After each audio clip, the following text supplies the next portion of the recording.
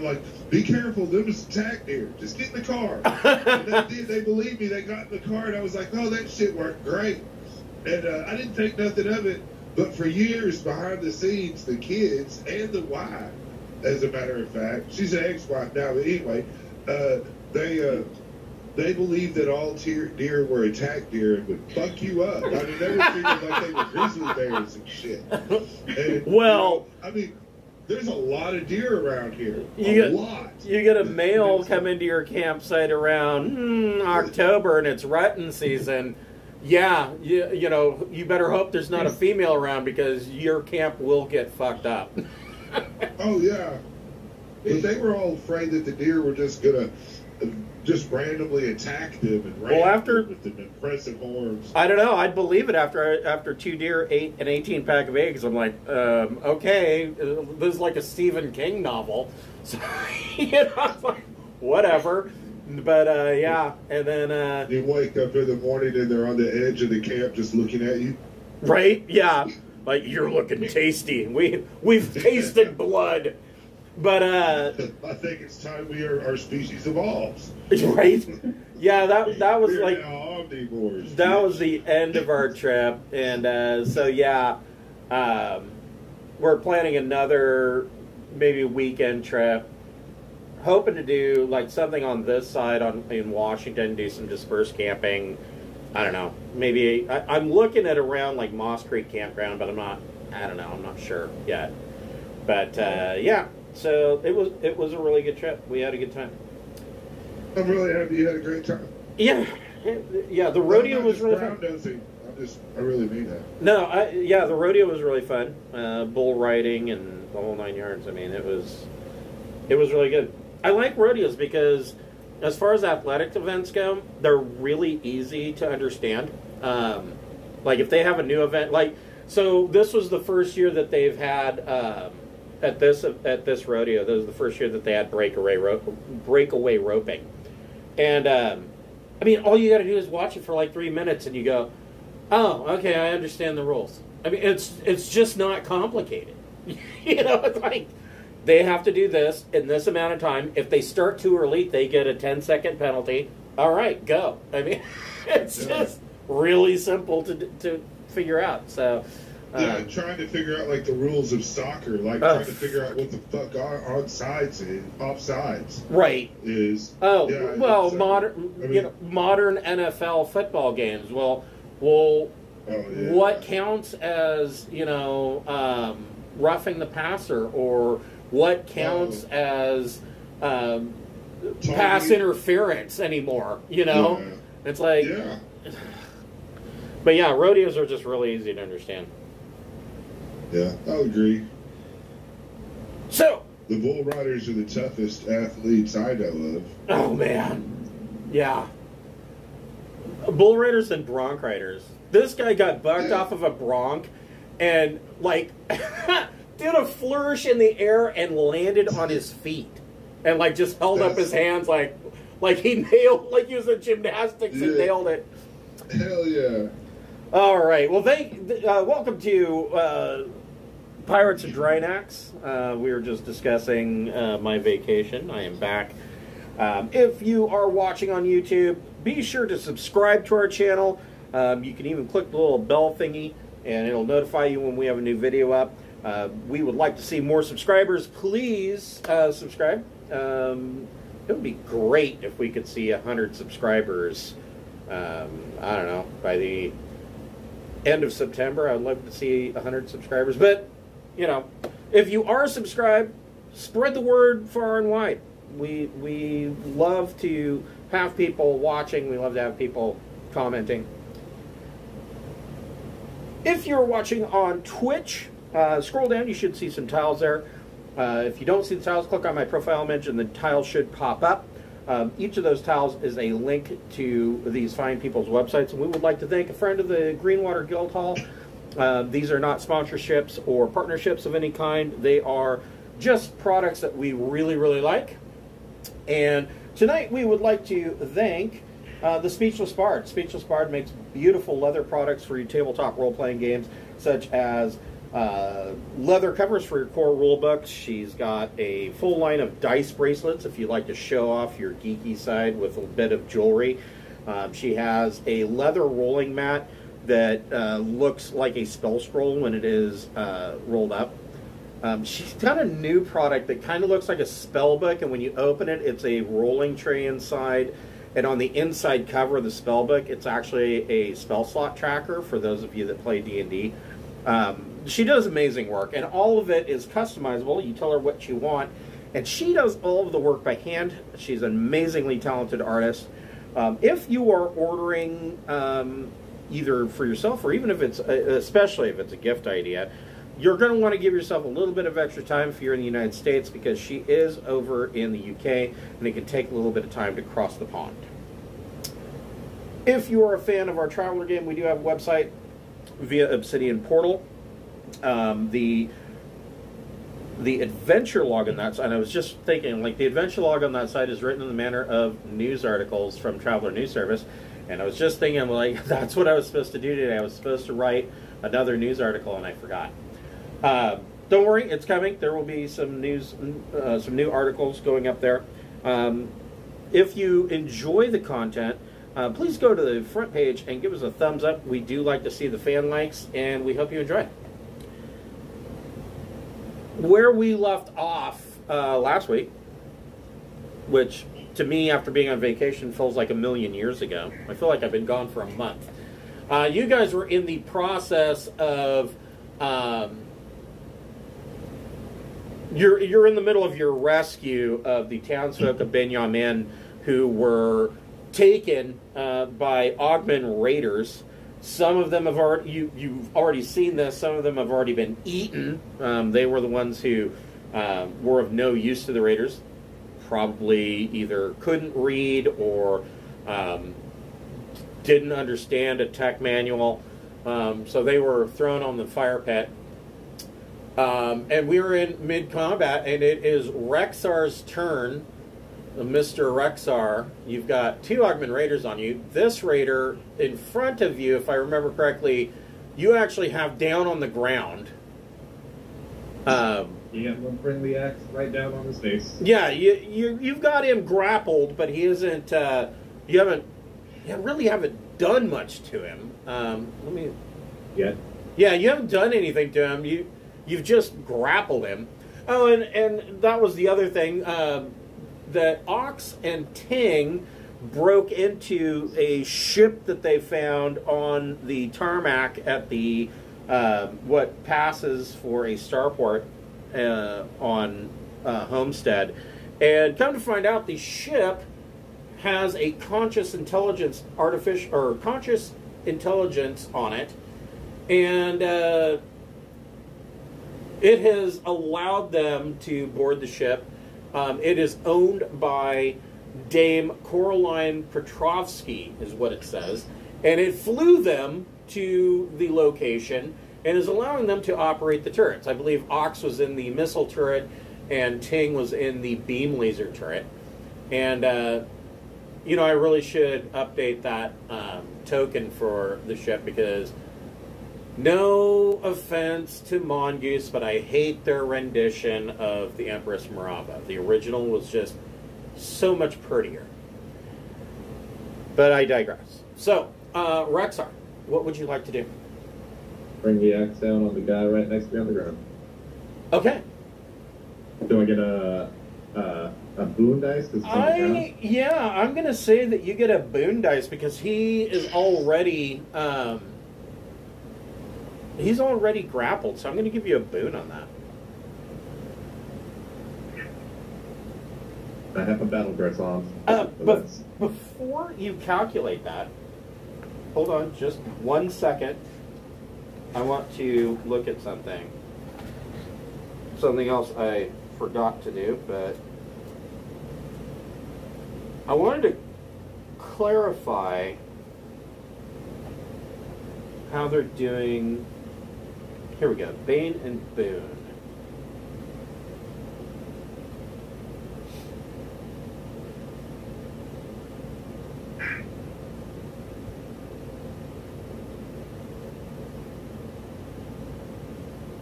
So they've expanded their description of Boon and Bane. It does work almost exactly like um, advantage disadvantage in 5e D&D. Um, so if a traveler has help, such as good tools, competent aids, or other beneficial cir- circumstances, they receive a boon. Um, they roll an extra dice during a check and di- okay. So yes, you roll three dice, discard the lowest. All right. So that's a 14 to hit. Yeah. Yeah, that hits. Uh, so, let's see. That is a plus eight to damage and is going to be considered an exceptional success. So it's going to be bad news for him no matter what you do. I rolled real bad, so. And don't forget, you get to add your strength modifier to the damage. Oh, Because you're I rolled u- that, you're using your 24. your axe, right?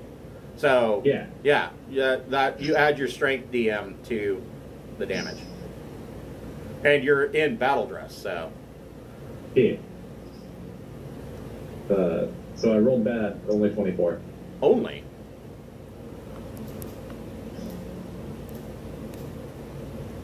So he's going to take 19. I have, uh, my axe also has AP 4. Oh, hold on. Whoops. So I'm sorry. You your damage was 24. You said. Yes.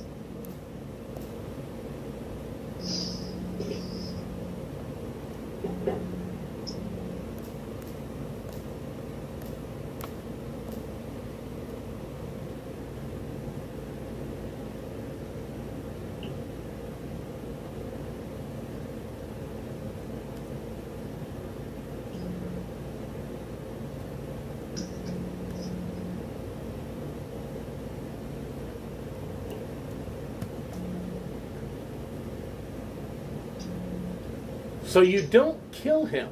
However, um, he does pla- pass out due to uh, blood blood loss and shock.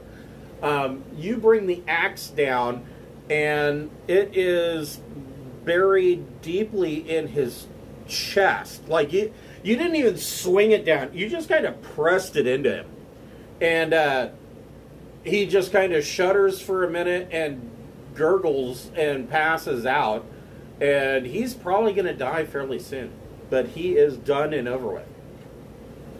You have a minor action. Um, if you move, the other guy is going to. I mean, he will get a. He can do a reaction attack on you, but I mean, he's just got a chain sword. Uh, yeah, as the blood splatters on my face, I'm just gonna try Oh, and yeah. look at the other guy and start purring. Yeah.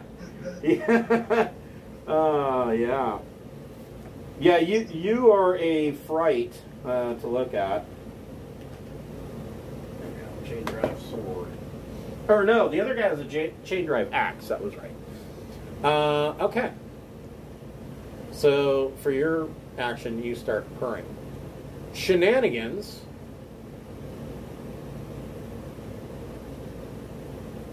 I'm sure I can get a missile to work this time. okay, so yeah, this entire canyon is full of um, debris and dust from the explosion. Um, so, Ox, what are you shooting at? I mean, you Uh, you've got you've still got the Far Trader and the Safari ship sitting there.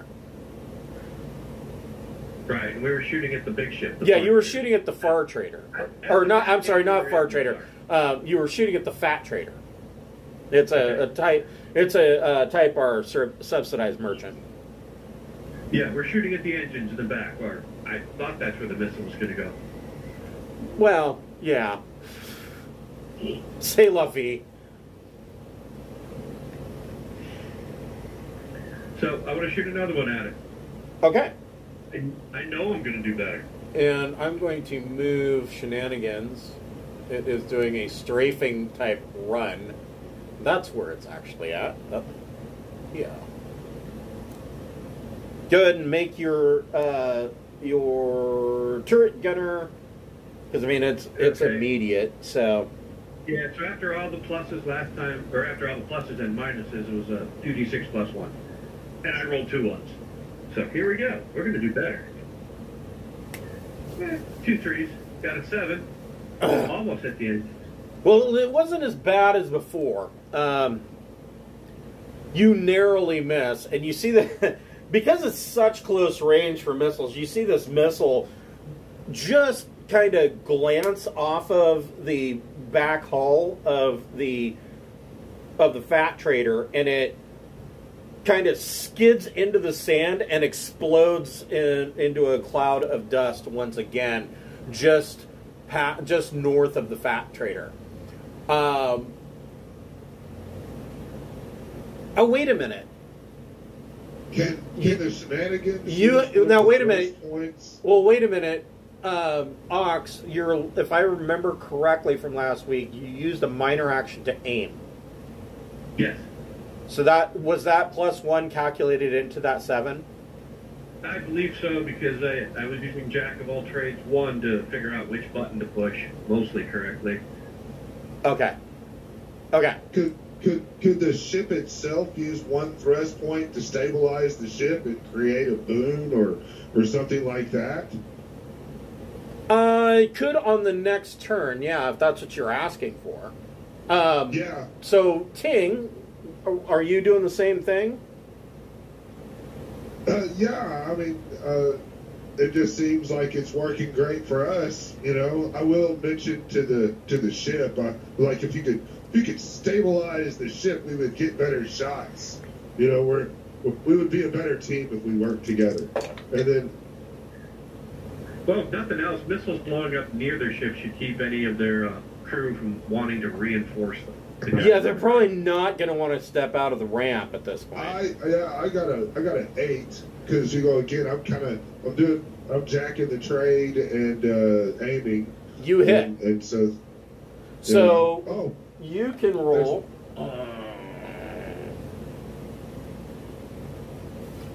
You would think that I would have this stuff memorized by now. I believe it's a D six.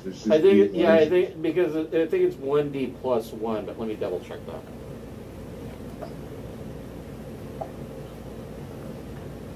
It is the wrong chart. Here we go. That is correct. It is one D plus one for damage. So three, three points of of beam damage. Okay. They're so impressive. Okay.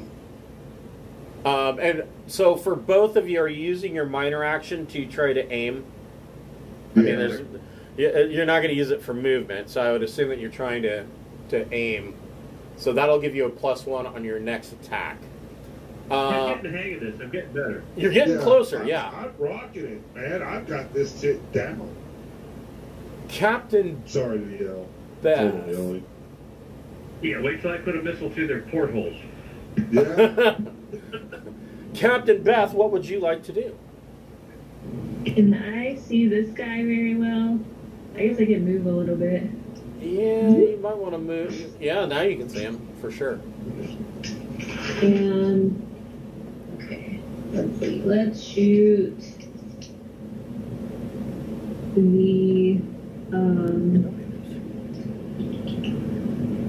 the advanced combat rifle. Okay.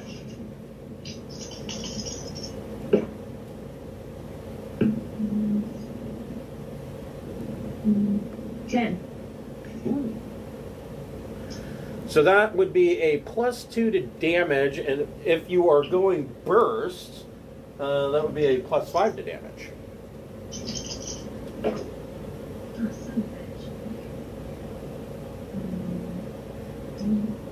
Thirteen. Okay.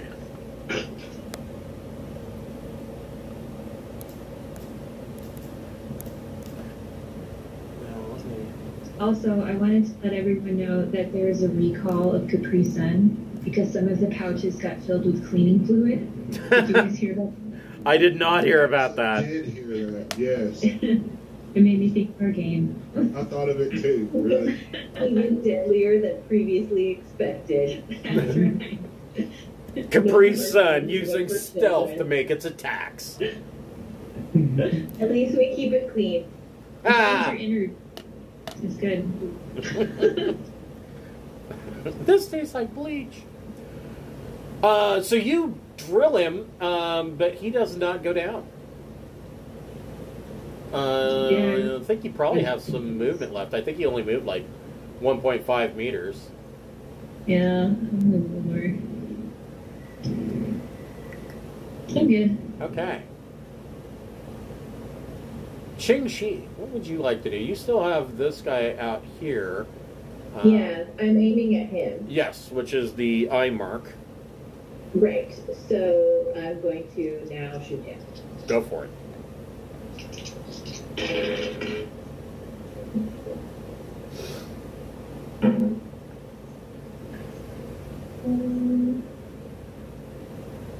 Nine. Ooh, just made it. Plus, Oh, plus the aim. So is that ten? yes, so that would be a Okay. plus two to damage. Okay. Sparky, one, two, four, three, four.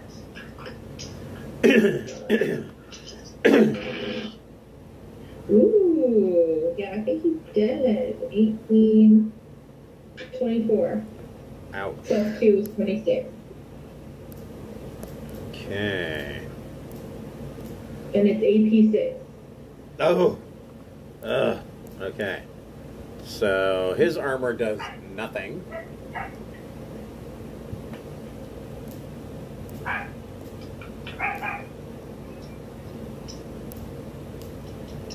Holy shit, that's exactly the amount of points he has. So your bullet goes right through this guy's chest and out the other side, and he just drops completely Okay. dead. And then, let's see, Rexar's got it under control. Uh, Captain's got it under control.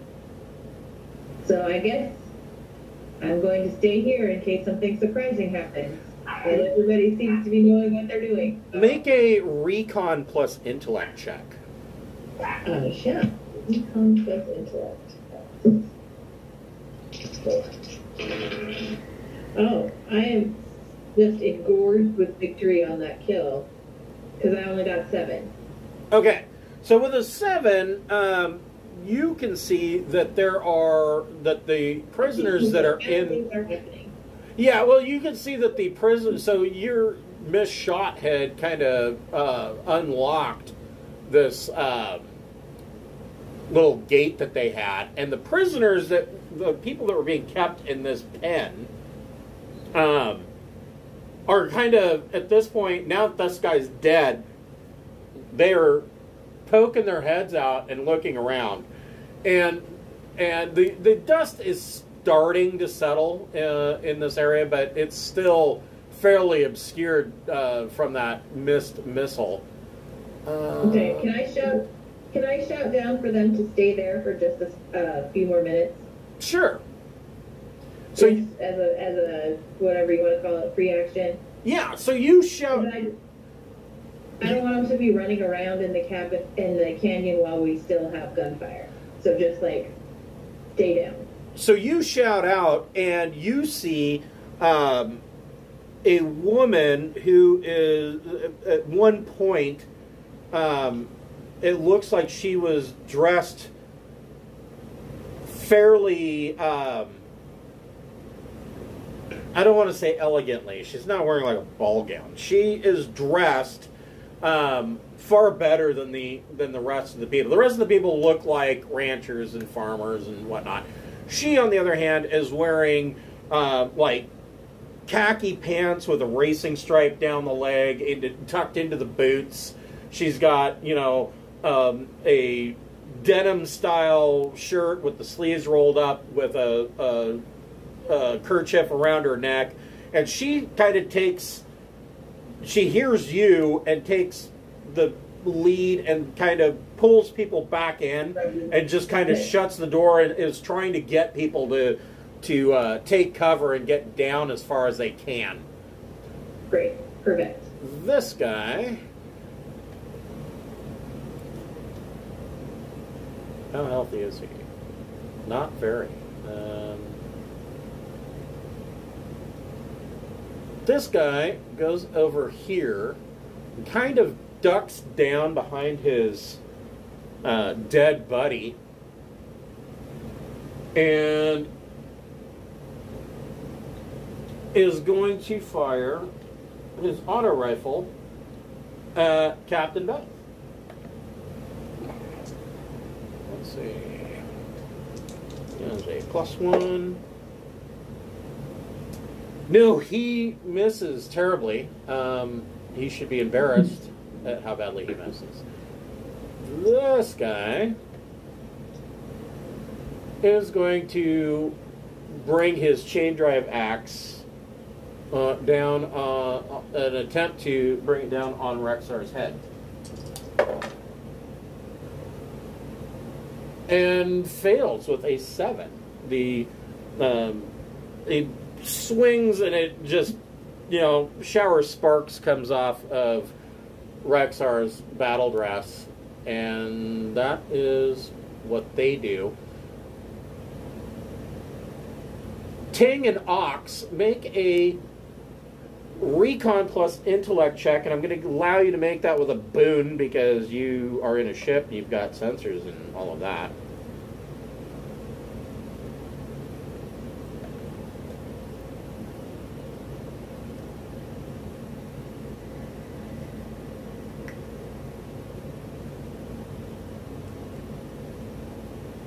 Nine. Okay.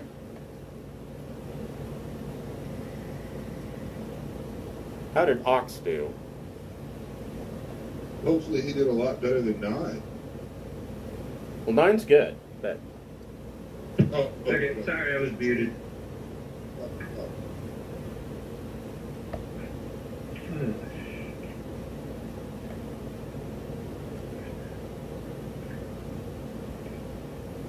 oof. wait, wait, wait.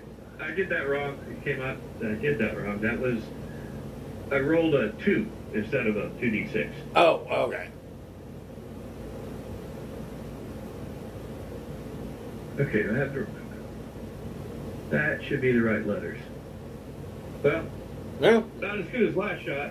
So, Ting, um, you see that um, three, well, you see four people coming down out of the safari ship. Um, it is uh, a big, big, beefy guy uh, with a number of like, it, like on his armor, he's got, and he's he appears to be wearing a flak jacket, but there's like feathers and you know pieces of starship and gear like attached as decoration. In front of him, he has a young girl, and there are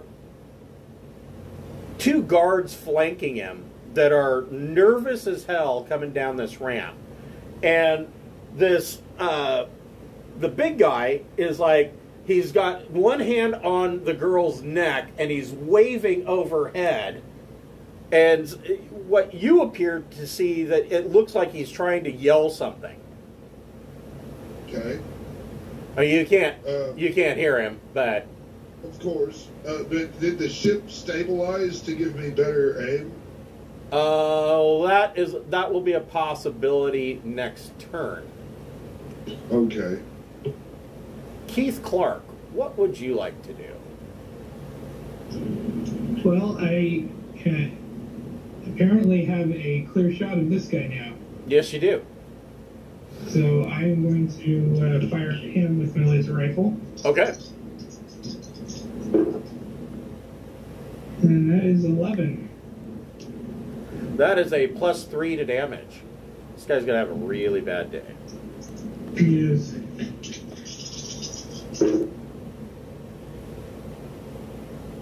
Oh. Only 13. was expecting more. Well, that may be enough. Yeah, it's that's more than enough. Let's see here.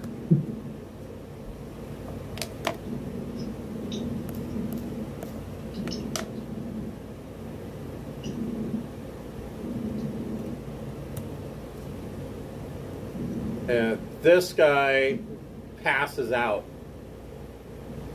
He is unconscious. Is there anything you'd like to do with your minor action? Um, I think uh, I can't really get down from here, can I? You could, if you wanted to move down that, because it is. It's only 10 meters. Um, I mean, it is a sheer, like, cliff, but I mean, it's only 10 meters. If you wanted to make an athletics dex check, I'd allow you to make it down. I'll go for it. Okay.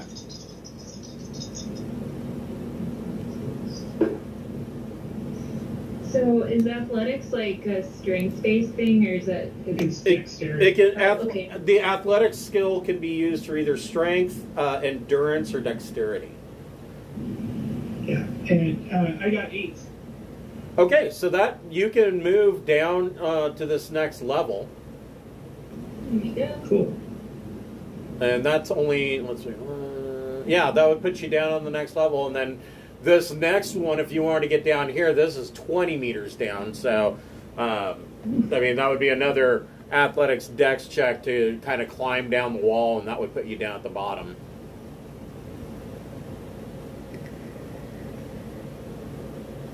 We are back to Rexar. Um, swing my axe again.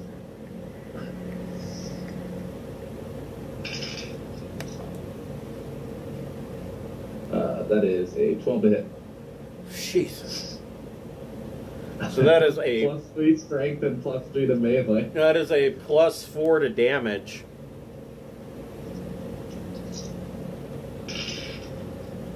Listen, I may not be smart, but I'm good at. Okay, I rolled really good.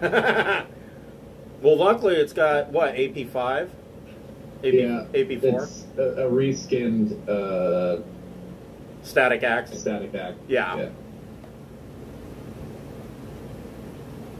Uh, 10. Uh, 27. Good grief.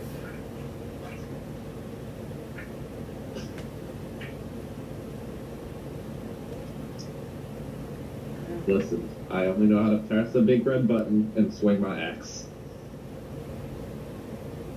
Oh no, it's AP Like, you do, six. you do both so well. You say only, but Yeah, it's You do both. So you're just an expert. That's all.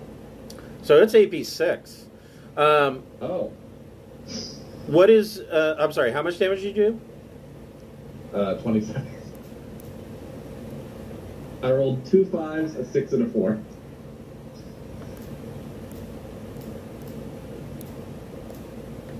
Yep, this guy, you swing and Part him perfectly down the middle. uh no, but um, it is uh, a gory mess. You go right through his his uh, flak jacket and drop him in a bloody, gory mess. Rexar, you are you you and your armor are just covered in blood. I mean. It, at this point, at this point, you're having to reach up and kind of wipe the view plate, uh, view uh, plate on your on your battle dress because it is just covered. So I have little windshield wipers. Yeah, you need it. little windshield wipers for all the blood. So you still have a minor action. Um, I don't know what if you would like to go down the ten meters, uh, or if you want to move anywhere. I'll jump down the 10 meters. Okay, go ahead and make a uh, athletics dex check. Really? That's what I get snake eyes? Oh, Uh, that's a, a five. Just tuck and roll. Just roll down. It's like the cartoon effects where like they hit the ground too hard and they sink into the ground and there's just an outline of my body. So now, and this is ignoring armor. You kind of go down this 10 meters um, in a uh, rough and tumble manner, and you take five points of damage because you kind of wrench your leg. Ow.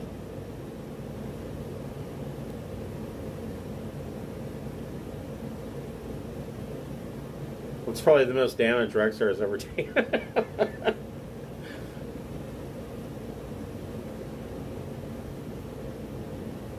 so, uh, Shenanigans is going to. Well, Shenanigans does her best to um, stabilize the ship, but fails on her piloting check. Um, not terribly bad, but it is an average failure that doesn't grant any bonuses to your attack. Um, so, Ting, um, and, and it is now, you know, with the ship hovering, and she's she's kind of like, you know, rocking back and forth and, and trying to hover, and she's kind of spinning in a circle. Um, but it is clear to both Ting and Ox you guys can both clearly see this guy holding this this young girl's neck, and the two guards uh, behind him that are flanking him, um, and he's still waving his arms and yelling. Cassie, stop it. Ox, what would you like to do? Same as we do every night, Pinky. Try and shoot at their engines. Okay, uh, same at the, the Fat Trader. Yep. Okay. Trader's engines. Uh, hopefully, we got some stabilization. Minor action is aiming for the next shot, pushing a button and praying. Okay. Hey, there you go. 13. Okay. Told you I'd put it through the porthole one of these days. Okay, so that is a plus five to damage. Roll four D for damage. Plus uh, four D plus five. 4d6 plus 5. Wow. That's pretty amazing. 11 points. And Okay. five of that was on top of the dice roll. okay. So Okay, that was a dud missile. I hit it. The missile was bad. so well no. So Ting fires a missile, and, and or I'm sorry, Ox fires a missile, and and Ting, you see this. You see this missile hit the cockpit, like right in the viewport, bust through the glass, and you see the missile fly into the ship. And both of you are sitting there kind of like, what just happened? And then you see the entire Fat Trader go up in a ball of flame and explosive fire. Um, it the missile went through the cockpit, straight down through the bridge, and detonated in the fuel stores. And so the Fat Trader is now shrapnel across the desert. The guess we explosion didn't want to salvage that one.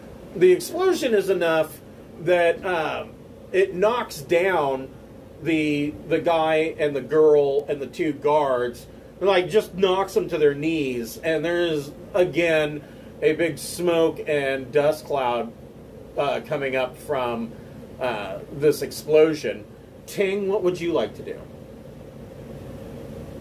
I'm gonna try to shoot the fat guy. Oh shit. Okay.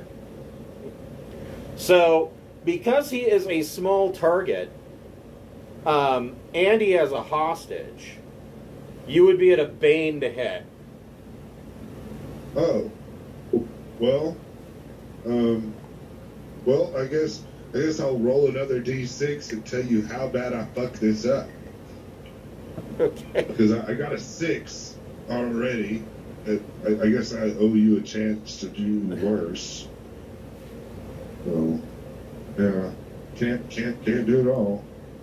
It four? Nope, it stays at a six. Okay. So,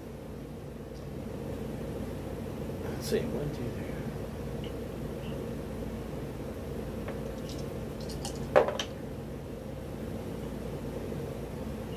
This is the first time I've missed with it. Feeling cocky. Roll 1d plus 1 times 10. All right, so let's see. Roll 1d, right? Plus 1. Uh huh. Times 10. All right. 1 times 10, 10. There you go. Okay. I might have typed that wrong. No, wait. So you rolled 1d6 plus 1. No, I rolled 1d. Sorry. Just hold on. I cheated. Hold on. There we go. Uh, I got a 6. So 60. 60 points of damage. Oh, shit. All right. So the two beam lasers come out and leave a crater at the edge of the boarding ramp where this guy and the hostage and the two guards were.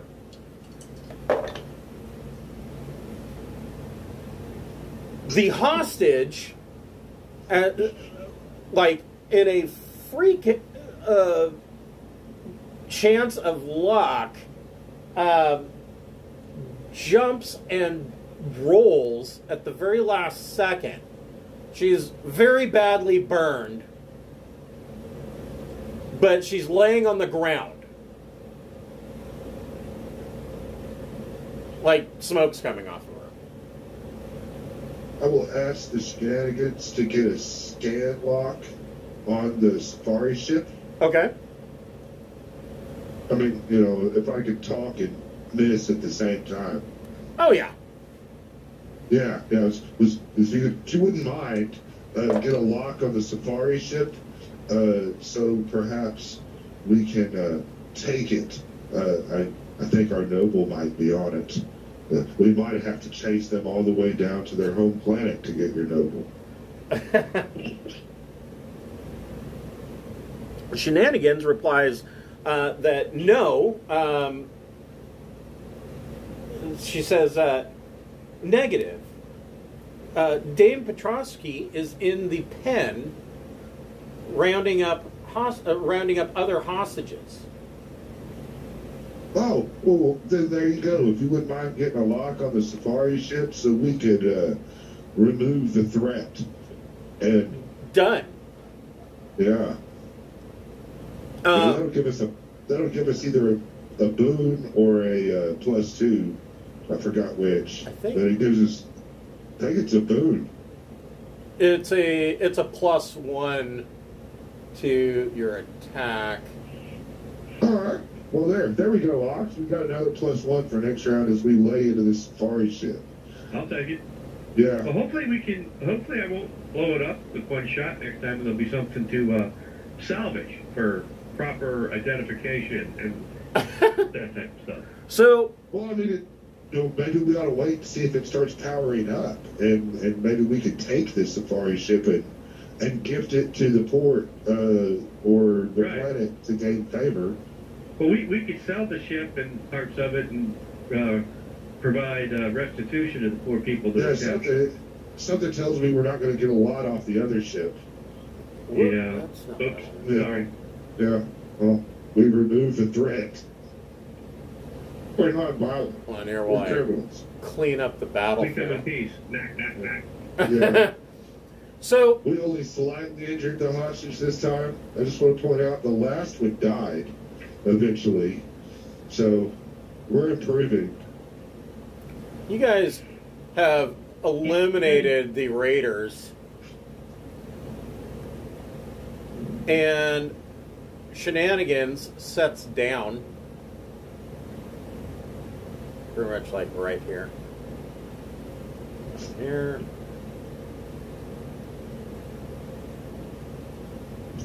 We're probably all really shocked also that a ship showed up and helped.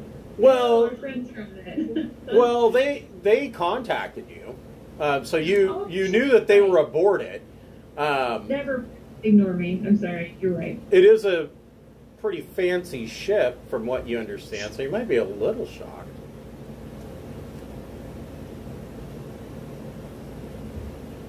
Uh, here. uh, does does the shenanigans uh, happen to have any uh, programs that would be willing to upload me, like perhaps piloting or something like that? Oh, we'll we'll get to that in just a moment. Okay, all right. I will, So- I will hush. So you guys, uh, uh, well, the first thing, uh, so uh, Beth, Chingshi, Rexar, and Keith make recon plus intellect checks, and you can make those with a boon.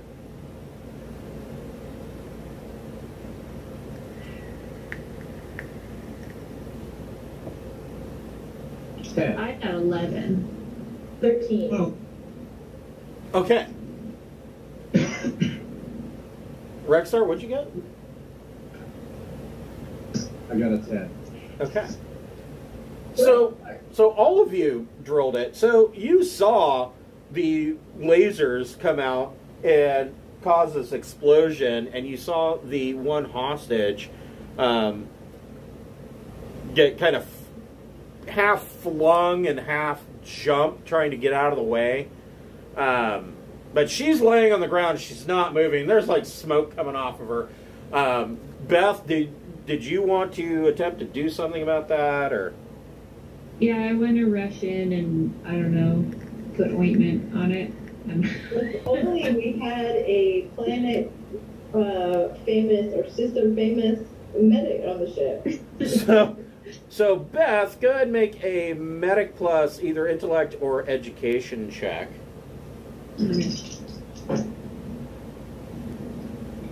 uh, 12. Wow. So that gives her four points back.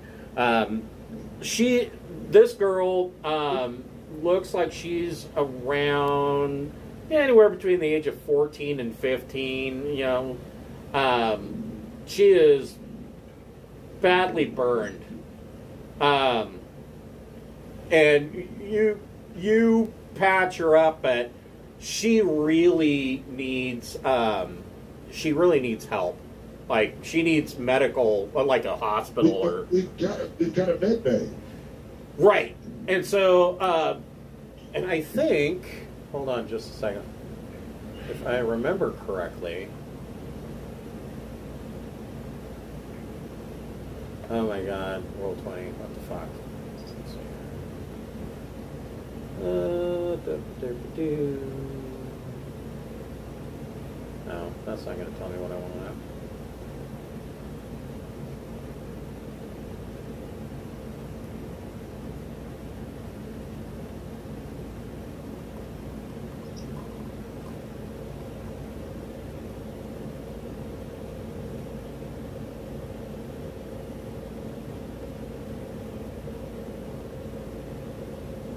Shenanigans does as well. Um, and so this kid's like having a hard time breathing, and um, the woman that was wearing the khakis with the racing stripe and the and the denim shirt, she comes out and her hair's kind of you can tell that her hair is her hair is braided and up in a bun, and she comes out and she rushes over to Beth and she says, uh, "Here, I'll help you. Let's get her aboard my ship. We have a medical bay." Let's do this. And so she gets you aboard the. Sh- she helps you uh, get her uh, get the kid aboard the ship into their medical bay. Um, what the rest of you? I mean, there are these uh, townsfolk that are coming out of this um, pen that are they they act like they're shell shocked. Um, they've clearly been abused. Most of them are injured in some way. Usually, by uh, most of the injuries are by um, uh, like a harpoon through the leg when they were taken, or through the shoulder, or whatever. Um, these people are beat up, um, kind of shell shocked. But I mean, this is a far trader. Um, you could, if you wanted to load them into the cargo bay and take them back to town, you could. Do you guys want to do that while I patch people up, or how you want to do this? Well, we, I'm to thank Shenanigans for the help with the missiles and uh, ask Shenanigans if I could get an after action report, any suggestions on being a better missile shooter in the future. I'm just gonna, I'm going to chat with the ship, see if I can get any interesting info out of it. Okay. Uh, Sh- shenanigans um, responds. She um, she doesn't vocally respond. She puts up on a screen a screen that just says practice, practice, practice. um, what about the rest of you? Are, are you trying to calm these people? What do you what are you guys telling them? I got lots of Xanax and, and med kit. Just hand them out. now is there. So the first thing, the first thing I'm gonna do is quietly pop one of the Xanax that Doc says we can hand out to everybody. I want Um, but I think I'm just gonna be focused on trying to figure out how to get everybody back and all that, like logistics Okay. I would like to go with the team to the safari ship and see if we can claim that. Okay. Who else wants to go check out the safari ship? Anybody? I would like to. Okay. I'll go with the safari so they don't die. Okay, so um, Keith, make a um, make a mechanic plus or mechanic plus intellect or education check.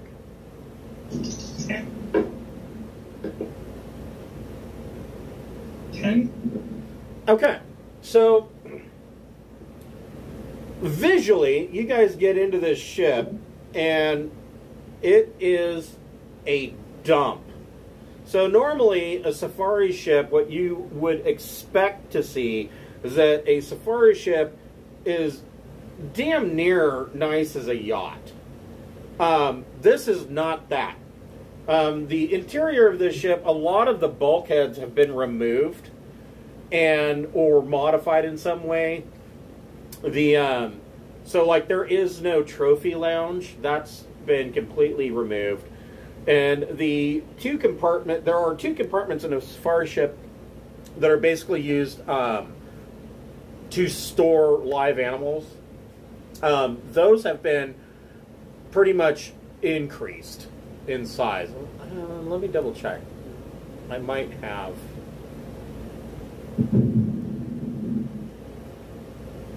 Oh, But it's it's jump capable, not. So, Keith, you do determine that yes, it is jump capable. Um, as far as whether or not you guys would be interested in keeping this thing, it, it, oh, here we go.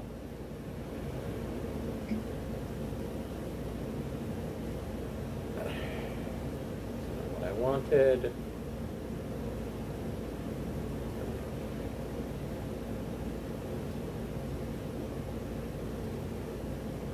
So this is the deck plan. No, and there was a whole bunch of stuff going on here.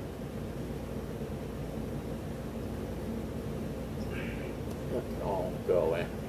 I say, it seems like we've been here before. Yes.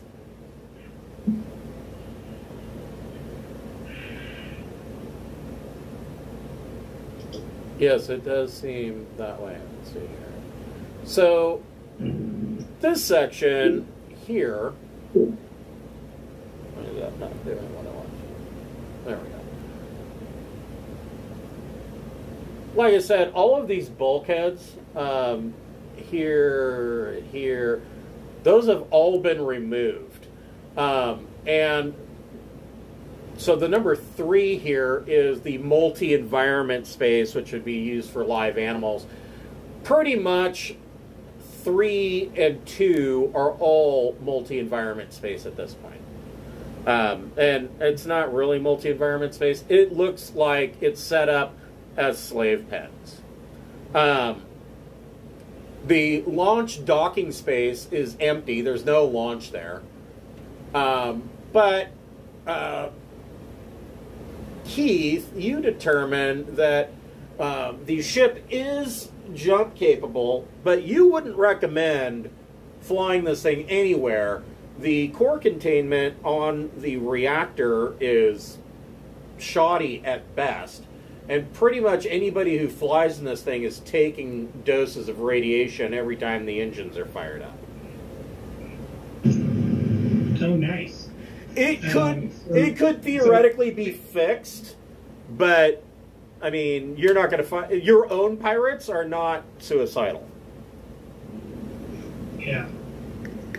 We should just set it down in the town. Can we like tow it so that the engines don't have to be fired up or something? I just want to give it to the people. Maybe they can do something with it. They Or could maybe, I mean, can we repair it enough that it won't kill them before we give it to them? uh with the parts I'm that you here. It's a cancer factory. You're welcome. Yes. Yeah, if you want to grow a second head, turn on the engines. Like Um, at least you know some kind of. I'm sure. I'm sure Keith can whip up some kind of containment field or something, so that at the very least they have an energy source in town that won't lead to Incall tumor death. Can I take its hard drives? Yeah, you could do that. Sweet. Uh, that'll, that'll tell us where it's been and, and So- what it's been going on. So Ting, There's- make a um, make an electronics computers plus intellect or education check. All right.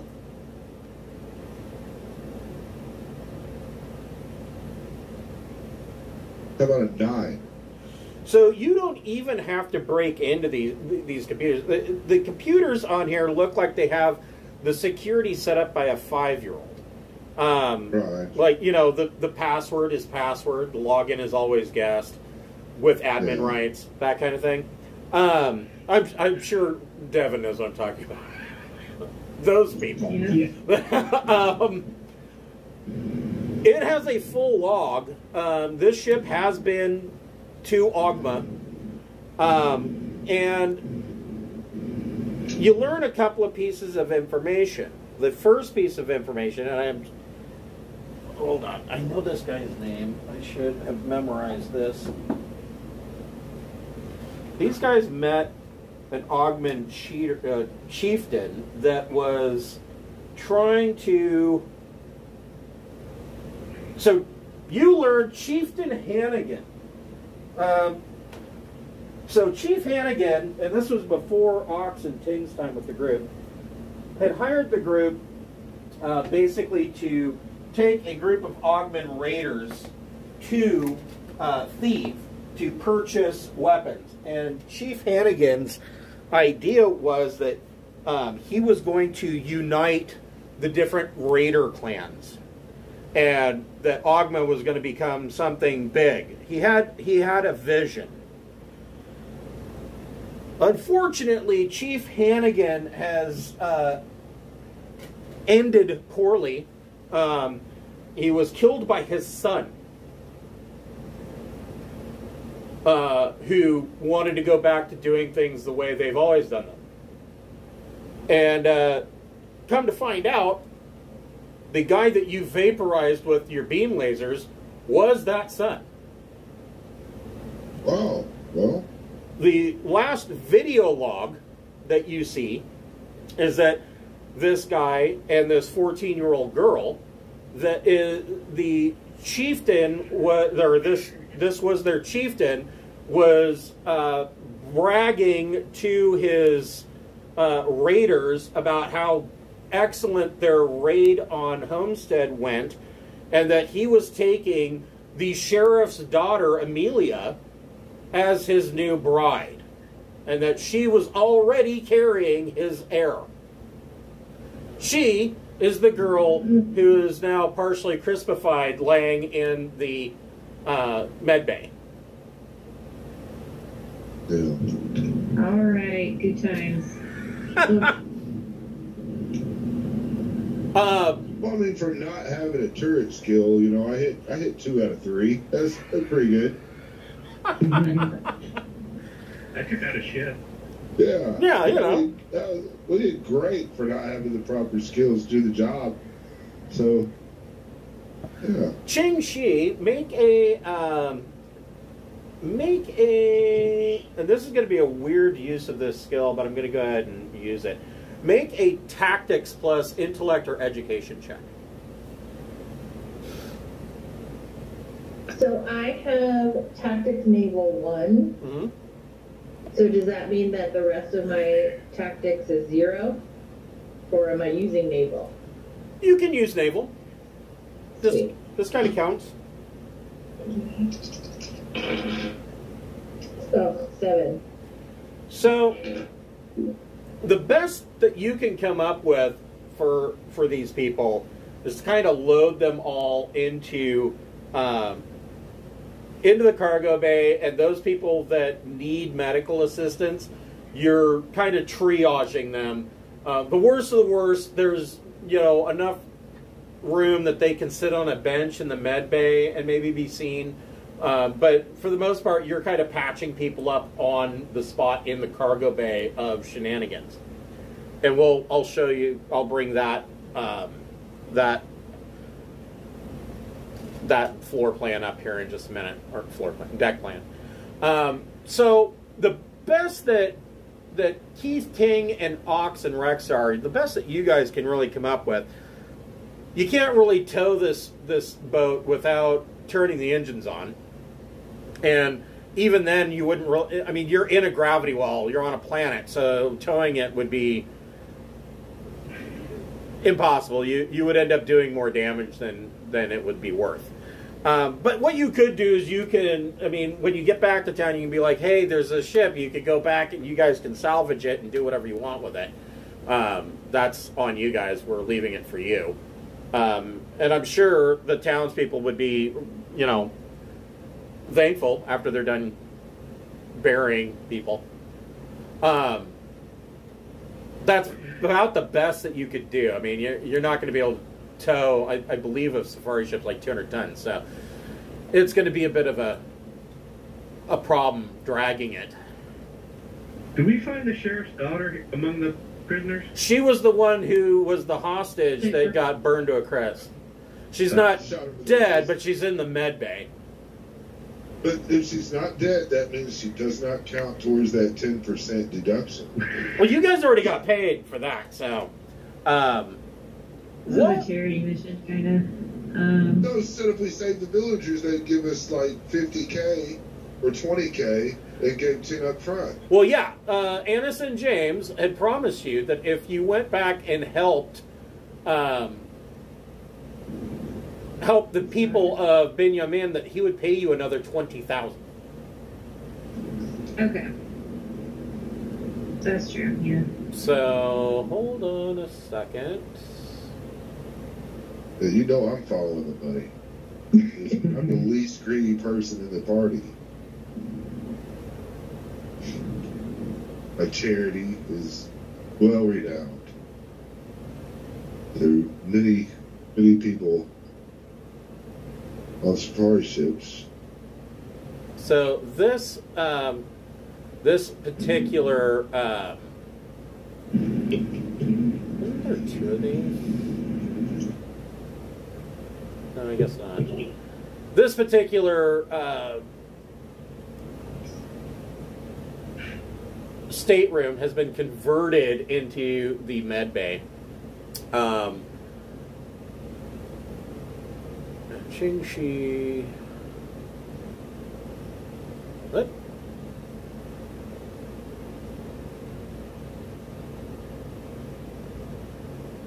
Is over here.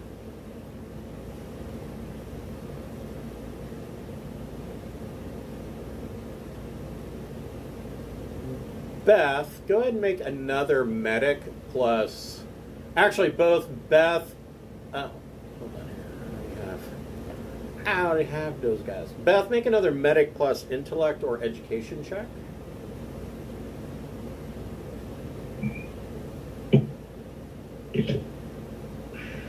Fourteen. Okay. So, with the use of the med bay, you are able to save Amelia's life.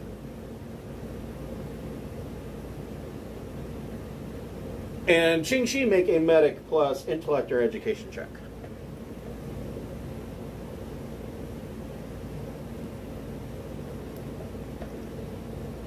11. Okay. So you're able to patch up as many of these townspeople as you want, and you see that this woman in the khaki pants is she's she's getting her hands dirty helping you patch people up. Just as just she's acting like she's one of you guys, and she uh, you hear her. So the the cargo airlock shuts, and you hear her yell out. She says, "Shenanigans! Get us back to town!" And you can hear over the PA system. You can hear the voice of the of the ship say, "Yes, ma'am. ETA ten minutes." And the you can feel the ship lift off and head towards Binyamin. And Well, we. What about the Capri Sun? the Capri Sun's still at the, the spaceport. But Oh, she okay. has told the ship to go back to Binyamin so that we can drop these people off first. And so she kind of collects all of you um, and brings you to the, uh, the the common area. And uh, she she starts she says well i, I thank you all for um, for coming to rescue these people um, and, and me I, I, really appreciate it. She says my name is dame Coral, Coreline petrovsky.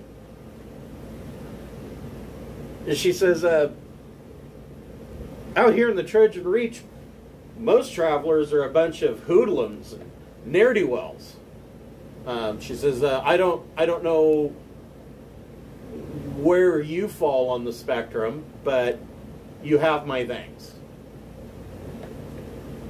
Let's do the flag waving for Drinax um, act that we did. Okay. You know, that whole thing. So she she responds that. She says, um, "Oh, you're you're with the uh, you're with the new kingdom of Drinax. That's I've heard about what's going on, what what King Oleb has planned, and um, she says, I honestly I would love to join his court, but I as of right now, I have very little to offer him to gain a decent position, which is part of the reason why I'm in the Trojan Reach.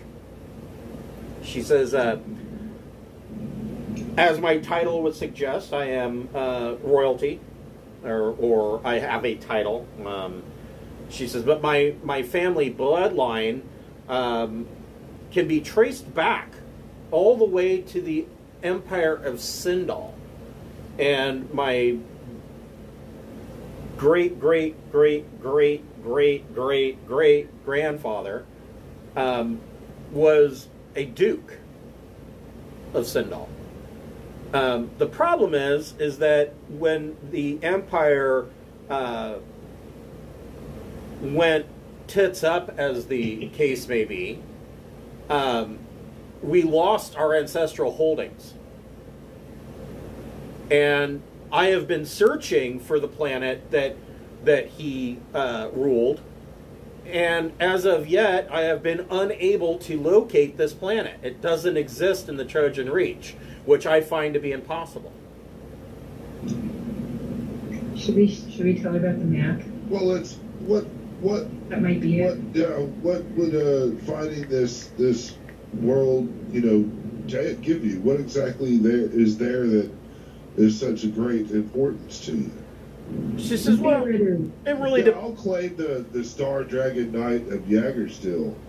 she says, uh, "She says, well, good sir, it really depends. I mean, for the most part, I I would like to know where my family came from, um, and that's just a personal matter to me. But if there's anything there, um, if if I'm able to find, you know, a a Sindalian cache or um, technology, you know, perhaps I could use it to gain favor with with a court, either with Yggdrasil or um, uh, perhaps Drinax, even maybe even Birney. I don't know, but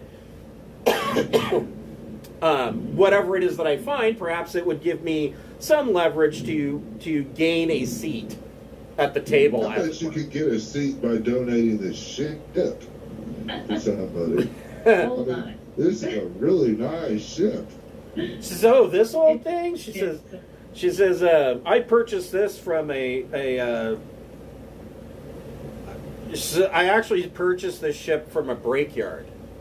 They were they were getting ready to scrap it, and I one of their technicians at the shipbreakers uh, had purchased it and was modifying it, and he was actually quite a uh, genius uh, when it came to uh, computers and electronics, and claimed that he had um, come across some ancient code um, that he used to program a conscious intelligence.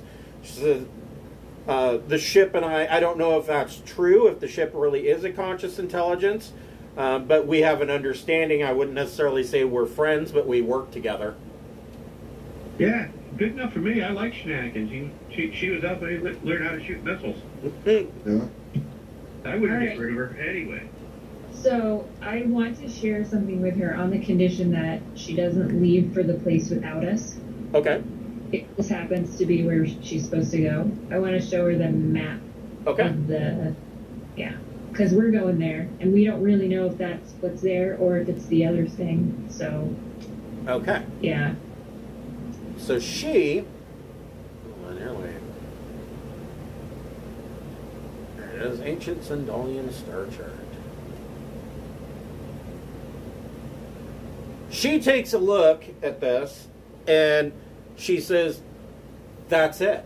You know where the planet is. Um, she says that BTSHT 365 is the scout designation, but this is from a an old scout chart that an independent scout had made during the long night, um, just after the fall of the Sindalian Empire. Um, she says that's all that she knows about the planet, but she had never seen an actual stars chart. And she she says, okay, so we're here on Homestead. Um, she says that we would probably want to uh, stop at Thalassa um, to uh, see if there's any any further information about it. But at the very least, we could refuel at Thalassa. She says, "I'm sorry, I'm getting ahead of myself." She says, "I would like to hire your services to to take me to this planet with a stopover on Thalassa." And she says, um, as payment, since you like my ship so much, I will give you shenanigans as payment. Oh wow, amazing. Love shenanigans. Okay, I mean, this ship is Like worth deal. this ship is worth hundreds of millions of credits. I mean, the, just the the upgrades to it alone are astronomical. so um, we were supposed to find some information about like the scientists that made that horrible bioweapon. Is that is there? Are they possibly there? Should we warn her at all that that's a possibility? I don't know. Um, I do. I think we should be open and honest, uh, it, it, with the exception of selling nobles and stuff. yeah. yeah, Talk about that might want to yeah might want to keep that to yourself. Yeah, Um, There's a, we're heroes right now. Yeah. She hasn't heard anything about um, a bioweapons uh, specialist at all on Homestead, or and I mean, she spent some time here on Homestead in an attempt to find information on this planet. Um, she hasn't heard anything about it, but she's willing. You know, if we want to keep looking along the way, she's perfectly happy to do that. It, uh, bioweapons don't concern her, she says. She's not like worried about it. All right, that's fine then. That's that's totally a great deal. I Um, mean, that's that's our mission, right? Is to, to find this bioweapons guy, right? And try to to get snip them out. But I mean, if we get a ship on like a side quest, if it happens to be a side quest, then that's like definitely worth doing. It'll help. This is a very nice, cool ship that talks. Yeah. Talking ship. Yeah. So Really stuff. Beth and Ching Shi.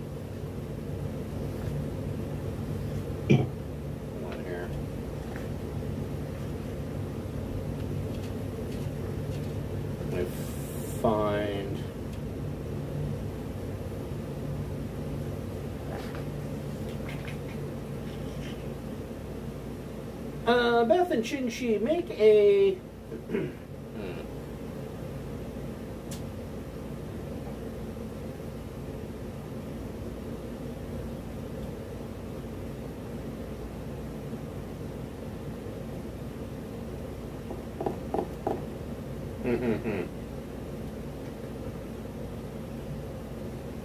either of you have the diplomat skill?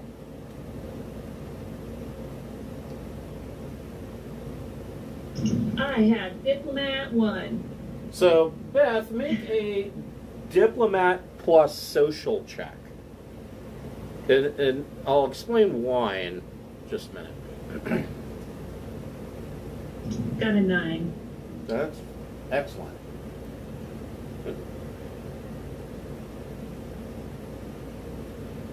So, with a nine, you seem to remember hearing something about um, in the past. You know, your your uh, time in the Navy or in the Scouts. You remember hearing something about um, Coreline Petrovsky. Um, that uh, that this woman is like tenth removed from Duke Norris of Regina of Deneb. Um, she appears to be in her late sixties. Um, some of the rumors that you heard is that not only is she tenth removed in line to uh, Duke Norris, but you also um, remember hearing something about a uh, Regina noblewoman who was also a part of the Imperial Intelligence Bureau. Oh no, she's a Fed. um, in the meantime, while you're you're kind of sizing her up, she tells you um, a bit of you know the history that she's trying to unlock um, about her family's past. Um, she tells you that Leopold Petrovsky was granted a planetary land right by the Star Dragon Emperor of Sindal. Leopold was. I don't know why I'm getting called from Michigan, but all right. Um, she says uh, Leopold was an admiral in the Star Guard and had proven himself on numerous fronts. His wife, five daughters, and three sons relocated to the Petrovsky ancestral home to build their palace. However, Leopold grew to be a just man and was frequently a thorn in the emperor's side. He opposed the emperor's heavy handed rule and, and constant raiding of outlying systems. it wasn't long before the emperor made an example of Duke Leopold. The emperor accused Leopold of sedition and made a decree stripping him of all titles and lands. In preparation, Leopold sent his daughters out on a Yuleng 3 class destroyer, but he and his wife remained behind in the palace. The Emperor of Sindal laid waste to the palace shortly thereafter, and thus began the fall of the Empire of Sindal. And throughout the centuries, the line of those five daughters intermixed with the royal lines of the Third Imperium. Four of those lines became dead ends, casualties of frontier wars and internal strife in the core worlds. Uh, Coreline's own great great grandmother was assassinated on Capitol, and many think it was because of her lineage. So this is kind of important to her uh, to find this plan. But like she said, she's if, if you are amenable to it, um, you can crew this ship, and at the end, uh, when we get there, she says the ship is yours. That sounds like an amazing deal to me. Looking forward to our adventure. Okay. So Do we need she to drop drop off those people and get paid though? Like Yes. that's the only other thing we need to do. Yes, and so yeah, you drop the people off. Um, you drop off Amelia with a bag of uh, gauze and some burn cream. Uh, the sheriff uh, is exceptionally happy to get his daughter back, um, and uh, true to his word, he he wants to know nothing about the bank heist. Um, that is up to you and your gods is the way he said that he says that is up to you Perra. You however you want to uh, deal with that, that's on you. And he thanks you profusely for bringing back his little girl. Um, the town they scraped together two tons of spares. Now spares are parts that are used to repair your ship. Um, and he supplies you with those spares. And that's about the best that the town can come up with. I mean, they they're not rich in this town in any way. Should we take it? I don't know. Maybe they should keep that shit. It's all right. Like Why, why don't we they try to take? Repair. Why don't we take the s- shares and see if we can repair that power core? Yeah, was, or maybe they could. We could tell them where the ship is and be like, "Hey, there's a ship you could use all these spares on, and then maybe it'll be something good Yeah. for you." Because we're set. Like, don't don't worry too much. it's all good, dog. Yeah, I, I, I like that. Like, get, get them a map or draw a map to the charred out ship with a warning and then let them keep the parts to fix it. Okay. Uh, yeah. So, Binyamin, um, and that pretty much means homestead, uh, will now count as a haven for you guys should you ever need a bolt hole to set down and hide out. awesome. The, the Can town, we, can we park the Caprice in here? Oh yeah. you certainly could. I mean, it'd be safer around our friends watching it. You know, maybe we could find them some nice pirate guns and shit that they could they could be worth defending themselves. You know what I like about this ship? They actually thought ahead and put a, a bathroom on the, you know, right next to the bridge. That way you don't have to run like all the way through the corridors trying to get to the to the head. Um, Does this have this ship has what an air raft? It doesn't have a launch or nothing though, does it? it does not, but it does have an air raft. Um, Yeah, pretty nice. yeah, it's it it it is an all right ship. Um, in fact, I will bring it up again. This is J two. Uh, this is an Empress Marava far trader. That would be J2. Yeah. But it's been highly upgraded, so maybe it could be J ten now. So here is its stats.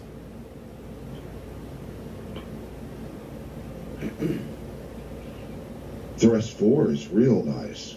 J two. Oh, this is a nice ship. Yeah, it's not Yeah, quite as definitely upgraded. yeah, it's not quite as fast as um, as the Capri Sun, but it a lot of the stuff on here. This ship was clearly at one point some kind of smuggling vessel.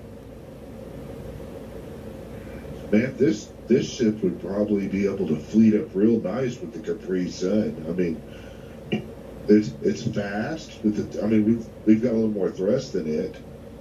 And we've got better guns. Yeah, it does have three tons of concealed compartments. Yeah. It's with its with its computer to watch our NPCs and be loyal to us. You know. Uh, I want to make a good impression so that the ship likes us. I think that's like the best thing we can do because if it doesn't want to work with us, it's going to go away. So yeah. let's find out what its morals are somehow. Uh, So- well, I don't think the ship can jump without living people on board. That's true. That is true. Um, yeah, all attempts at having a ship jump by itself have failed. The ship never never reached the end. Um, so it still needs a living crew, um, and it's like you know, it's like she said, you know, they're not. She hasn't spent enough time trying to really work on getting to know shenanigans. They have a working relationship. She count she would count shenanigans as she would any other employee. And she's not even entirely convinced that it's a real conscious intelligence. Shenanigans takes a little bit of offense to that and says that she is indeed.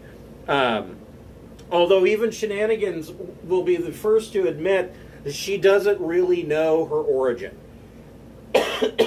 um, she has very fleeting memory of her um, of her creator. The other thing, um, so Ting, uh, now that you have access to the ship, any when you you kind of go and you're like, I'm sure that Ting would want to poke around the computer core and you know see this this ancient code. Um, and you don't you find a couple of lines of ancient code which is very peculiar. They they write in hieroglyphs. Um, and you find a couple of lines of it, but something like a conscious intelligence would be millions and millions and millions of lines of code. You're not finding that. Um, you finally determine, um, with the help of shenanigans, is that the the code for the conscious intelligence is spread throughout the core and throughout all of the systems. If at any time that the the uh, the AI wants to, it can hide itself in any of the systems aboard the ship. Oh, so it's like really built into the ship. Yeah, it is a It's, uh, core component It's like of the ship. hardware base. Correct. It's a hardware base, not a software And it's, thing. uh, It's awesome. It's like Hal. It's like Hal's. Yeah, yeah. a lot. Yeah, but as far as like uh, shenan- shenanigans, um, I don't know how I would describe as awesome. yeah, psychotic. I mean, so, I'm awesome in a psychotic I'm like, way. I'm sorry, I can't do that. Um, so shenanigans, as far as like, so you wanted to determine its moral fiber. Shenanigans um, is excited by the idea of adventure, um, and she identifies as a female. She identifies as a she, um, and she says that she. Um,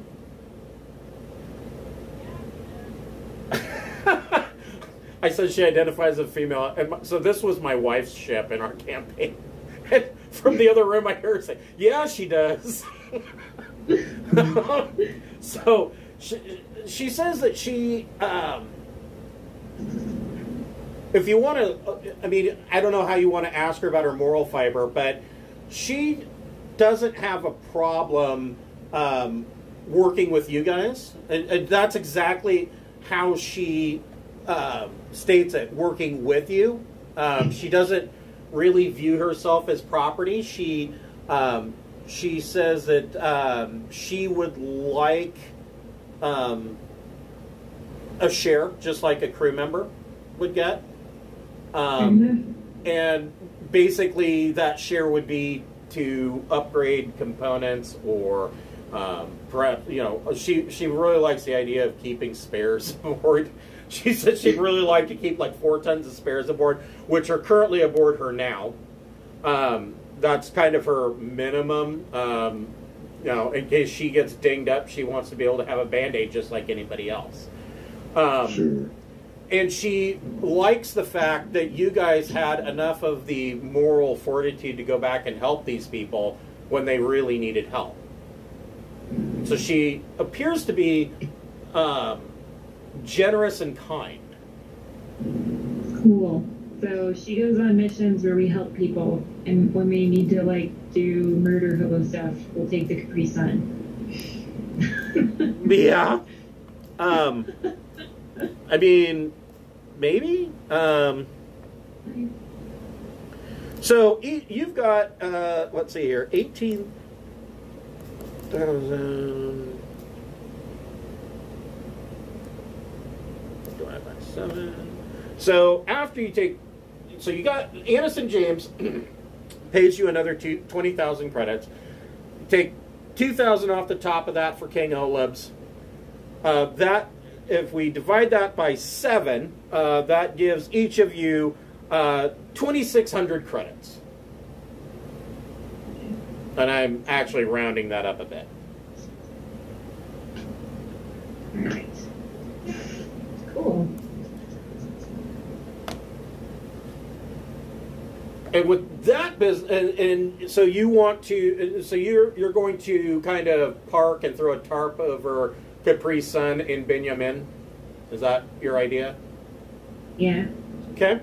So yeah, you jockey, you jockey ships around, and uh, you get Capri Sun kind of covered up, and you know, throw a, a camo tarp over it, and the sheriff Sheriff Vantuck tells you that he's perfectly happy to keep an eye on your vessel uh, until you return, and um, wishes you uh, Perer's blessing.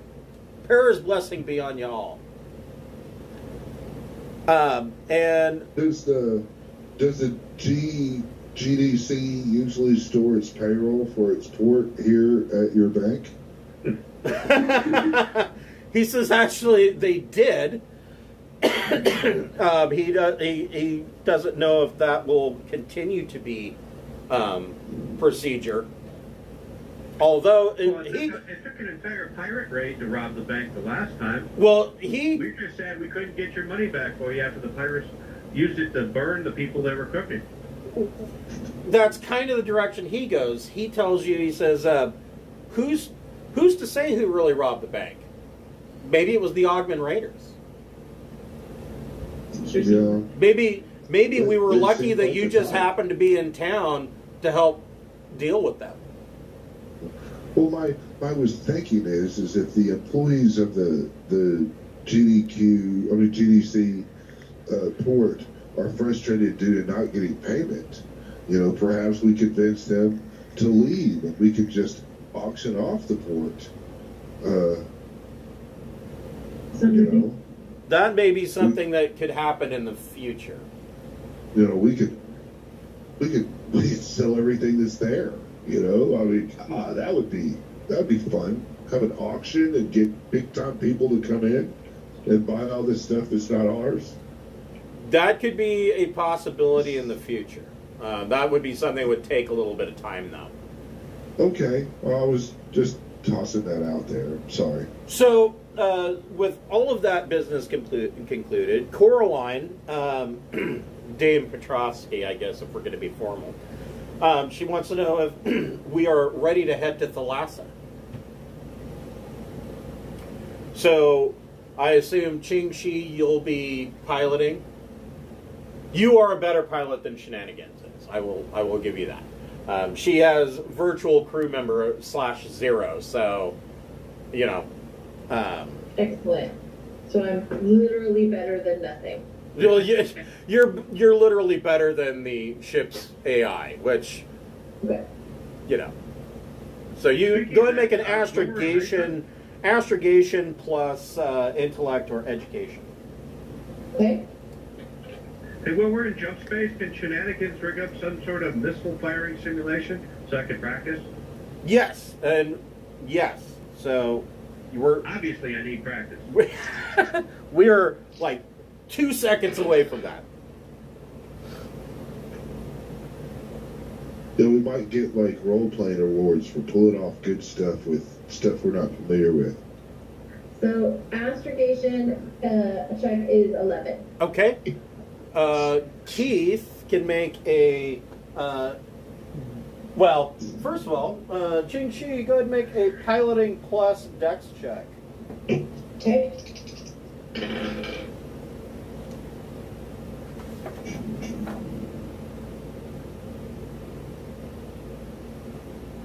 Oh, just barely. Eight. I think that might be my lowest piloting roll ever. Okay. Eight.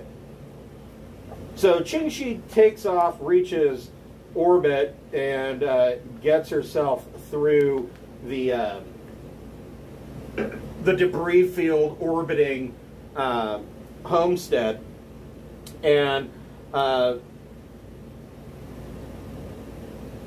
68 hours later, uh, you guys are approaching the uh, 100 diameter limit for jump, and Keith can go ahead and make a uh, J drive uh, plus intellect or education check.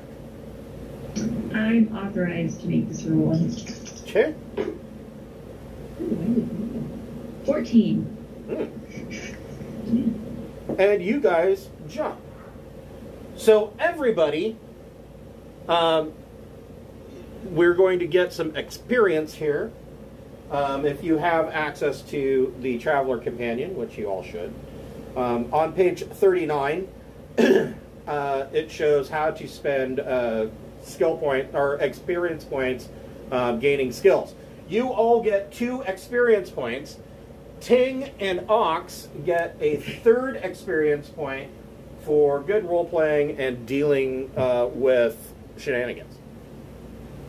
Oh hell yeah! Thank you.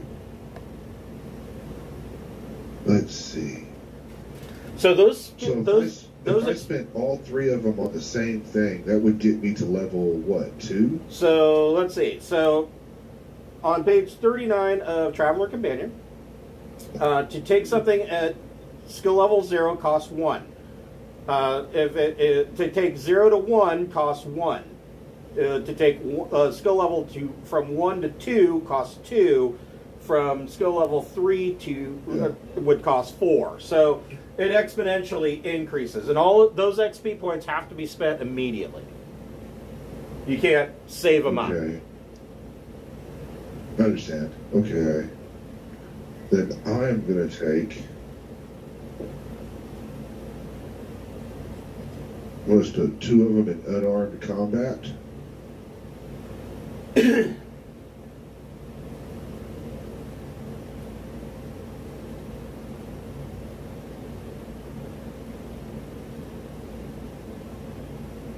and Are there any gaps we need?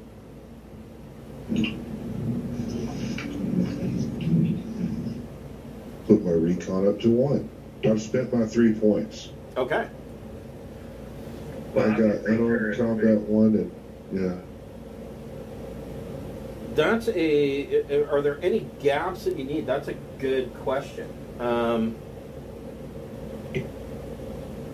Now, look- Like myself, I got admin. uh, This is at least uh, one or zero. Would be admin, art, astrogation, broker, carouse, deception, electronics, engineering, explosives, flyer, both gunners, gun combat. There's a lot. Leadership. I think I might have done these wrong back in the past, in the Wayback Machine, but there's no way of going back. no, you're fine where you're at. Yeah, mechan- I, I know I, I know I don't exceed because we talked about the total. Right. So you can't Yeah, exceed. near that. Yeah, it is.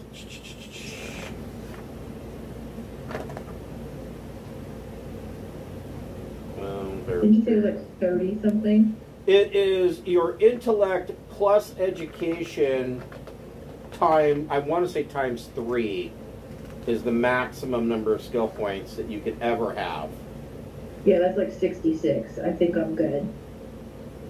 I Um, did my gun combat because I end up doing that a lot. So that's what I did. Yeah, my that's a call. Yeah, gun combat is a good one, especially with this leg of the adventure. You guys are going to see quite a bit of uh, gun combat. How much XP do you need to get something to three? To get something to three would cost four skill points. Dang it. No current three. This is going to be an epic adventure. Maybe there'll be more skill points at the end of it. Let's see. Mhm. I think I'm gonna go. I'm gonna take explosives too.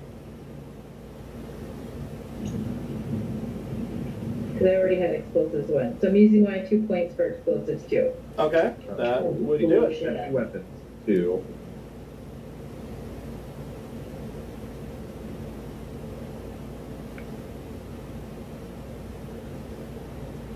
That Yeah, would work. That each XP.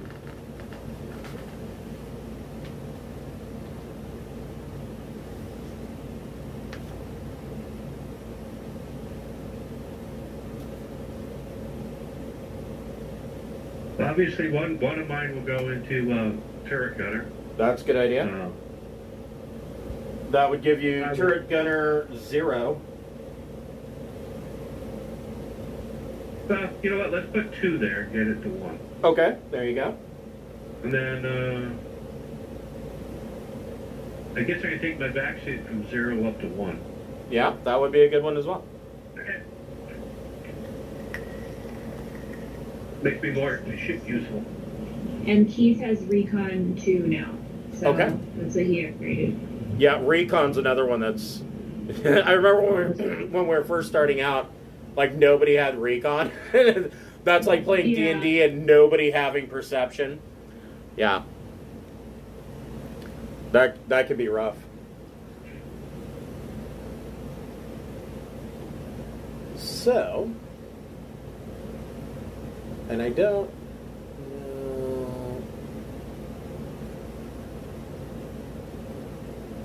So I do have a picture. It's not very good, but this is Thalassa. Thalassa is a water world. Um, it is almost completely covered in oceans.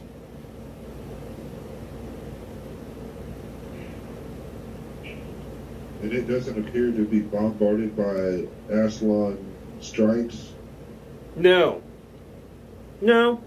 Um, the the library. So shenanigans tells you that um, uh, gives you a little as you are making your way from the after a week in jump space. You're making your way from the um, jump point to uh, Thalassa. You know it's going to be you know sixty plus hours. Um, Shenanigans tells you a little bit about the world. It says nearly everything on Thalassa is locally produced, and almost all technology used is organic. One of the chief industries on Thalassa is snail farming. The sea snails can grow up to six meters in length, and for used and are used much as beef or chicken is used on other planets. The shells of the snails are as strong as steel and have been developed into organic compounds that allow the thalassans to cut and weld the material as other cu- cultures do with concrete and metal. Seaweed is cultivated for everything from plastics and clothing to food and medicine. While there are a few resources that cannot be obtained on the planet itself, Thalassa has a rich mining industry on the moons and asteroids of the system. Other items are traded with for uh, with offworlders. Thalassa cities are uh, built on floating reed platforms that float across the ocean. and the planet is ruled by a group of councils, each one taking responsibility for a particular part of, of Thalassan society. Of these councils, the most important is the Council of Cycles, because the Thalassan cities float on these oceans uh, on ocean currents at different speeds, it is important to know where each city it will be and how it will interact with its neighbors. A city may, may be in an area where it could run low on food, so the Council of Cycles would arrange for the transfer of food from a more prosperous city drifting into the area. Uh, the Council of Cycles uses weather and ocean currents to effectively run Thalassa's economy. Uh, this experience with anticipating and coordinating events has led to to a talent for shrewd diplomatic maneuvering as well. Thalassan trade envoys are known to have their ear to the ground and every with every ruler in the subsector. Um,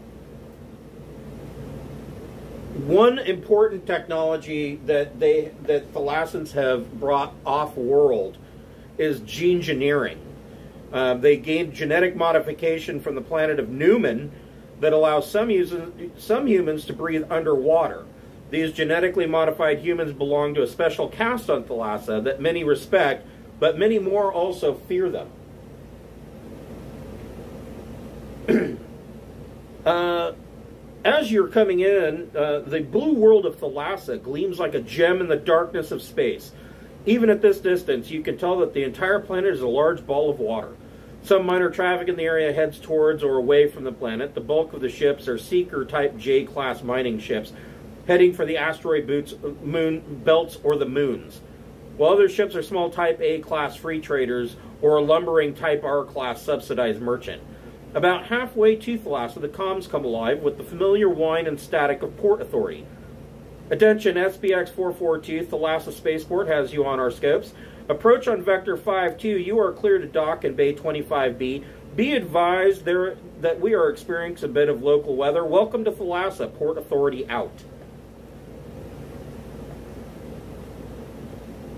Very professional.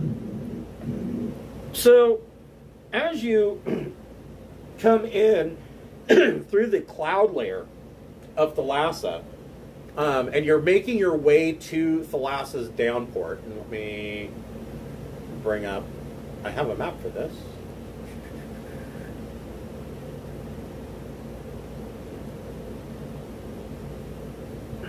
So this is Thalassa. As you can see, they have ice caps, um, but pretty much the rest of it is all um, water.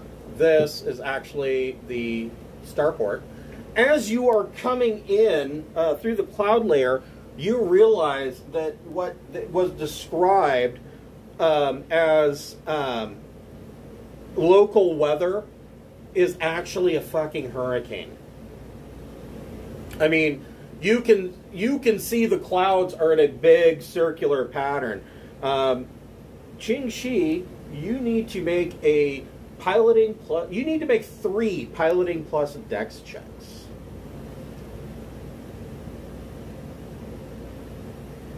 All right, three piloting plus dex checks. Piloting plus dex check one.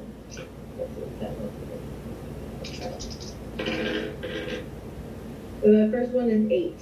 Okay. Go ahead and make your second one. The second one is ten. Okay. And your last one. And the last one is thirteen. Okay. Who is on the bridge? I'm sure I am. And I'm sure, obviously Ching Shi is. Rexar, Um, Rexar, where are you? hearing From my uh, Nintendo Switch in my cabin. I yeah, you're piloting remotely. Uh, Rexar, where are you at?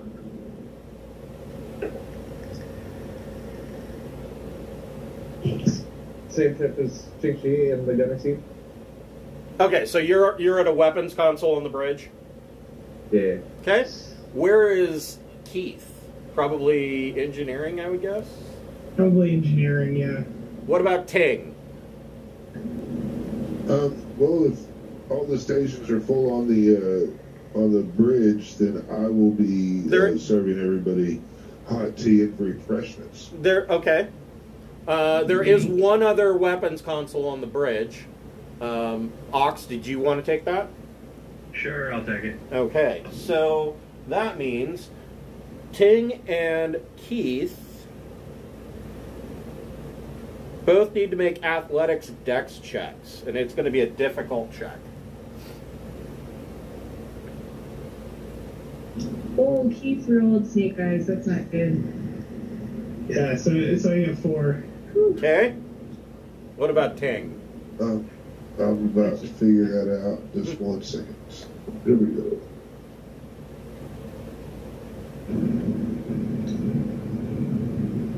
Eleven. Okay.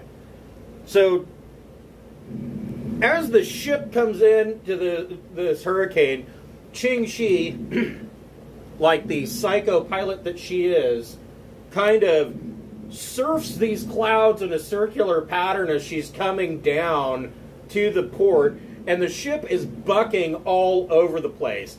And she comes in, and the back end of the ship kind of skips off the water as she's coming in for a landing. And Ting, you're able, you're in the you're in the common area, kind of making your your tea and refreshments, and you're jostled around, but you ca- you're able to catch hold of the uh, countertop.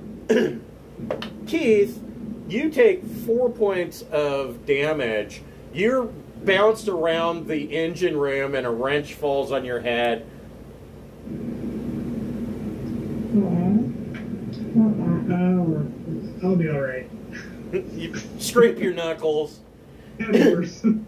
Yeah, that. Yeah, well, that's that is literally true. hoping it was that I had a strong finish, not that the end was the worst part. And the, the storm is causing static to come through the uh, come through, and you land at at Thalassa Starport, and it it's built in a ring on this big floating. Uh, s- I mean, the the the the base of this thing looks like a gigantic wicker basket is floating on the ocean, and there's this big starport that's built out of snail shell and it's two stories high.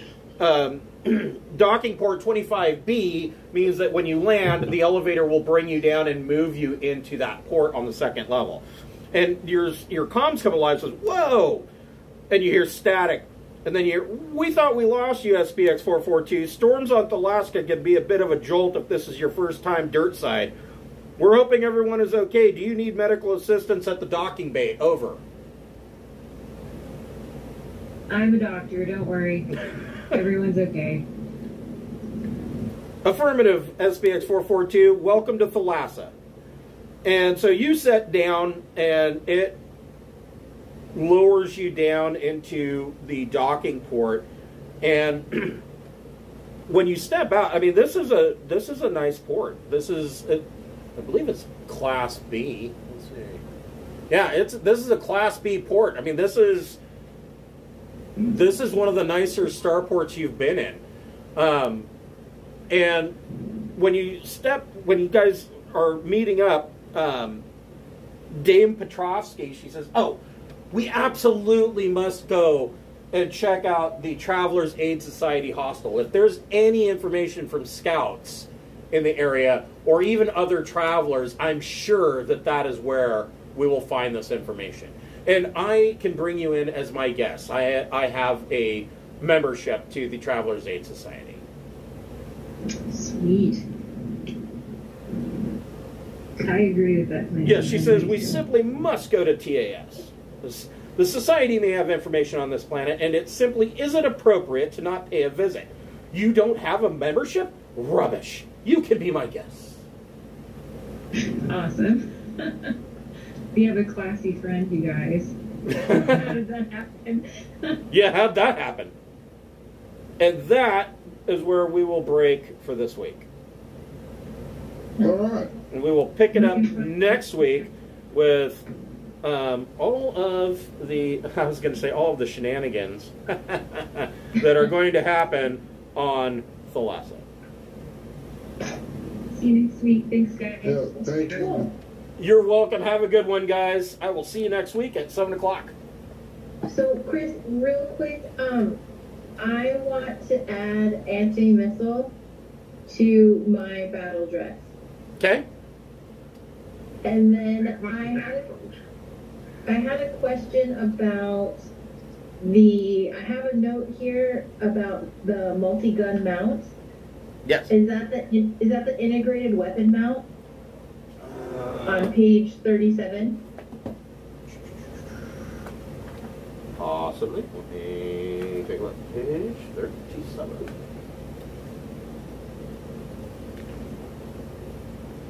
Let's see here. So, what kind of gun did you want to mount? Well, I don't know. I I wanted to put in the integrated weapon mount. So if you put it, so Rexar has an integrated weapon mount um, that he put in a heavy mount, which allows him to. Uh, he's got a. Um, it's basically a a Vulcan chain gun. It's the um, shit. Hold on here. Find it. And like what what what I really wanted was the vehicle weapon mount, but I don't have enough slots for that. Yeah, those can take up quite a few. Um, he has he has the rapid fire machine gun on page 125, um, Okay. which is a heavy um, integrated weapon mount. Okay. It takes up 10 slots, so Yeah. Yeah, it, it's got 12, and then I wanted to do the anti missile because it sounds like that can stop uh, grenades too, Yes. and then so I got ten left. Yeah, you could do that. Might use every weapon now. Okay, I'll take a look at that. Also, um, before I go, sorry, I'm like No, you're running late. Um, the file that you loaded on the drive for Island of what's it call it, Iktaka, yeah. and it has nothing in it. It's like the folder, but the folder is empty. There are no files in it. Interesting. I will take a look at that and I will transfer over the correct files. There is absolutely no rush. What I'll do, I'll just go ahead and unzip it and dump into that folder. Maybe that was part of the problem. But yeah, I can take care of that. Okay. Okay. All right. Cool. Thank you so much. I appreciate it. No problem. I will see you next week. Yep. See you next week. Bye. Bye bye.